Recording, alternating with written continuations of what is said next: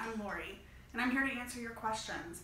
I'm the first person you will see when you walk into the office, and I'm also answering your calls. I have five years of REO real estate background. I handled all of the contracts and offers for the foreclosure banks. I also completed the real estate course in 2013. I am here to assist you, so please don't hesitate to ask.